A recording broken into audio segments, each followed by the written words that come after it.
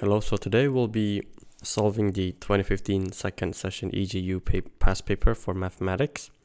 We'll be doing course 1 basic course and section 2 question 1. As before we have finished section 1. So here is section 2. So let's have a read. Consider the expression in x. So piece of function of x equals as such. We are to find the range of real numbers a such that the value of p is minimized at x equals a. First, let us note that the inequality, this, always holds and is an and is a, an equality in the case where x equals a. What it means is that if uh, x equals a, then over here x, e x minus a would be uh, a minus a, which is 0. So this won't exist. So as you can see, this part and this part is the same. Therefore, equality is held at x equals a. So when we set y equals this, we have this. So let's just focus on this first. Basically, what they want us to do is that since the x minus 1 and x minus 2 expressions are in absolute value, they can take different forms at different values of x. So we want to study all the different conditions for the value of x because each condition gives a different uh, expression for y. Alright, so there's not much space here, so I'm just gonna come down here. First, I'll write down the... Okay, now before we continue to solving it, I just want to note one thing. For absolute values, let's say absolute value of x here. If the x is less than 0, then its absolute value would be equal to minus x. If the x is bigger than or equal to 0, the absolute value would be equal to x. For example, if x equals 2, then uh, absolute value, sorry, if then the absolute value of 2 is 2. But if x is negative 2, the absolute value of negative 2 would be minus minus 2, which is 2. As such here, minus minus 2, which is like minus x. So let's use that. So for x minus 1 here, so if x minus 1 is less than 0, then absolute value would be negative x minus 1. And if it is bigger, it would just be x minus 1. And same goes for x minus 2. Negative x minus 2. So let's just keep these conditions in mind. The two important values here are 1 and 2. So let's draw a number line. This number line represents the value for x. If here is 0, let this place be, oh sorry, 1 and this is 2. So we can study the values of, of x for uh, this part, which is x less than 1. This part, which is 1, which is x is in between 1 and 2. And this part, which is x is bigger than 2. So let us study the let us study the first condition. If x is less than 1, well, if x is less than 1, that's just like saying x minus 1 is less than 0. That's just like saying x minus 1 is less than 0. From this, we can easily say that the absolute value of x minus 1 will become uh, minus x minus 1, which is equal to minus x plus 1. We can minus both sides by 1. We will get x minus 2 less than negative 1 which is less than 0. Therefore, absolute value of x minus 2 would be minus minus x plus 2. So from here, since we know this, we can substitute this back into y.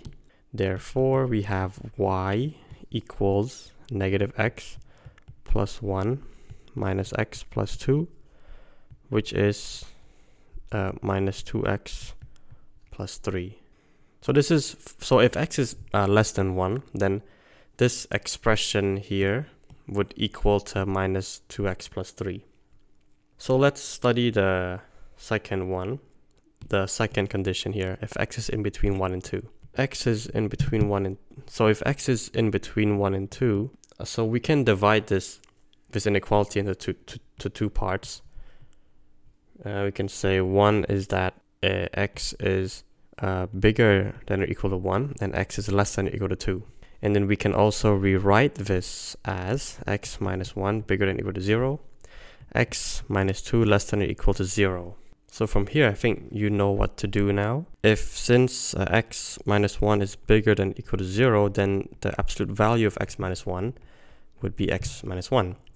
Since x minus 2 is less than or equal to 0, then the uh, absolute value of x minus 2 would be um, minus x minus 2. But, but then you may ask, well, x minus 2 equals 0. Well, if x minus 2 uh, equals 0, you know, you would get negative 0, which is still 0, so it doesn't really matter.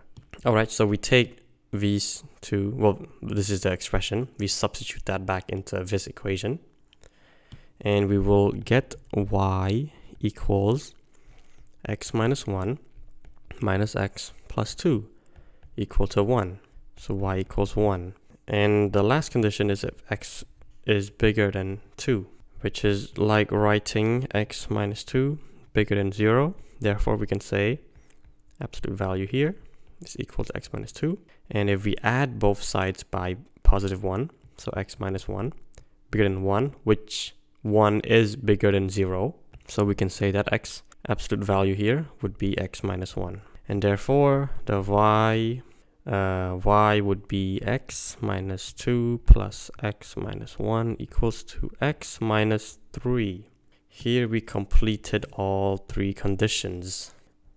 So here, the first condition, if x is less than 1, then our y value, here if x is less than 1, our y value would be negative 2x plus 3. Negative 2x plus 3 second condition, if, if x is in between 1 and 2, y value would be equal to 1. So here is in between 1 and 2, y value would be 1. Third is if x is bigger than 2, this will be our y value here. So bigger than 2, the y value is 2x minus 3. Right, so we finished the major part now. Let's read. When we consider the graph of 1, we see that the minimum value of y is h. Takes the value in between. Okay, basically, we need to draw the graph to understand what's going on. Let's take what we got here. Okay, so let's just write down the important parts. We could say here that y negative 2x plus 3 when x is less than 1 it equals to 1 when x is in between 2 and 1. And it equals to 2x minus 3 if x is bigger than 2. So let's just draw the graph for y. We know here that y is essentially a function of x. So let's draw a very simple graph here. You don't have to draw it perfectly, just get the idea of the graph. Okay, so let's mark the important values. We have 1 and 2. So one graph would be located here and the graph that's located here would be 2 minus 2x plus 3. Another graph would be located in between 1 and 2, which is equal to 1, that y equals 1, f of x equals 1. And the last graph would be on this side when x is bigger than 2, which would be 2x minus 3. So let's just have a look at minus 2x plus 3 for a bit. This is a linear function, so it will be a line. And as you can see, uh, its gradient is negative, so the line should be going, oh sorry, so the line should be going down like this. So it's a straight line going down like this. Okay, cool. So let's assume that for x equals 1, so let's take a look at this function here, minus 2x plus 3. So if f, if f equals to 1, you would get minus 2 plus 3, which is equal to 1. Which means that for this, for this graph here, at x equals 1, its y value would be 1. So essentially, it would be a line, get pink here, a line going down and it ends here. Uh, y equals 1 when x is in between 1 and 2. So, when x equals 1 and 2, uh, y value is always 1. So as you can see, if uh, if you took an x value here, the y value is still 1. If you took it here, it's still 1. That's what it means basically. If x is bigger than 2, function is 2x minus 3. So we know that this is a linear function again. And its gradient is positive. Therefore, it, uh, it would be a straight line going up like this. Let's assume that let's say x equals 2. If x equals 2, f of 2, you would get 4 minus 3, which is 1. So the graph would essentially start here as well, and it would go up. Now, if you draw this perfectly, uh, these two graphs should go up and down at the same but opposite rate. Okay, so let's go back to the question now. We see that the minimum value of y is h. So the minimum value of this graph is over here.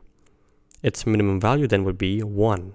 h would be equal to 1 and takes the value h at every x satisfying. So this graph takes the value 1, y equals 1 when x is in between 1 and 2, as we wrote here. So then this would simply be 1 and 2. So i is 1, j is 2. Let me just make that clear. i is 1 and j is 2. Now we come to the uh, interesting part here. Thus, for every a satisfying this, the value of p is minimized at x equals a, and its value there is m. Alright, this may have caught people off guard because you were just doing this equation thing and then suddenly, uh, like you already forgot that, you forgot that this, this p existed. I, I forgot too that it existed. And now they're asking you something about p. So let's bring p back here. Let's just write it. Let me erase this. So p equals x minus 1, x minus 2, and absolute value of x minus a. Okay. Now let's read this carefully. Thus, for every a, okay, every a satisfying a, in between two values, the value of p is minimized. Read this, minimized at x equals a. x equals a, x equals a. So what happens when x equals a? If x equals a, Therefore, p would be this value, because, you know, x minus a is 0, so this wouldn't exist anymore. Now, what does this look like? p would equal this, which means p equals to this y, which means p would be this graph. So that means that when the value p is minimized at x equals a, minimized at x equals a, so read this carefully, x equals a. So if x equals a, that's like saying a is equal to x. And with that, it, it means that this value p here is minimized when the is minimized over here. I hope this makes sense here because uh, this p you you can uh, it's represented by x and it has the same equation as the y here. So if it is minimized at x equals a, then it would mean that for the value of a that is in between 1 and 2, because since, since x equals a, we can also say uh, a equals x. So that's like saying if a is in between 1 and 2, it's exactly the same way as saying if x is in between 1 and 2. Then p would be minimized, which makes total sense. Look at the graph, it is minimized and its value would be 1.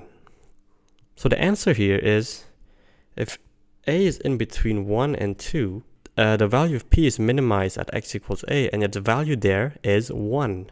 I know this, this part can be a bit confusing, but basically just understand that when p is minimized at x equals a, then p is equal to this, and when it's minimized, this is its minimum value.